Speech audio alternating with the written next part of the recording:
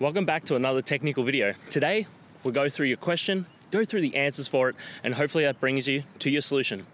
Guys, remember to stay just a little bit crazy to get to that solution just like me. And let's get started.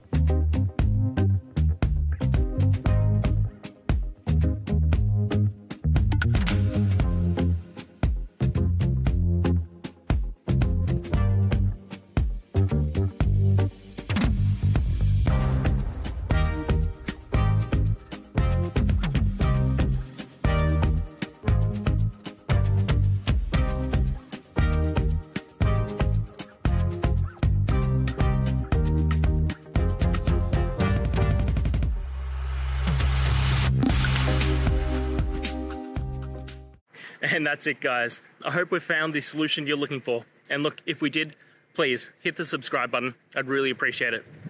And until the next time you need technical help, I hope you have a good one.